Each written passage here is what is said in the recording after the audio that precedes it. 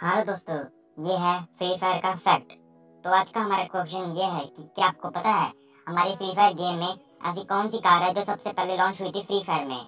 हाँ जो free fire में सबसे पहले लॉन्च हुई थी। अगर आपको पता है तो अपना आंसर कमेंट में लिख दो। लेकिन अगर आपको नहीं पता तो मैं आपको बता दूँ फ्री फायर गेम में सबसे पहले लॉन्च हुई थी ब्लू वाली कार जो कि आप बैकग्राउंड पर देख सकते हो। Thank you for watching bye bye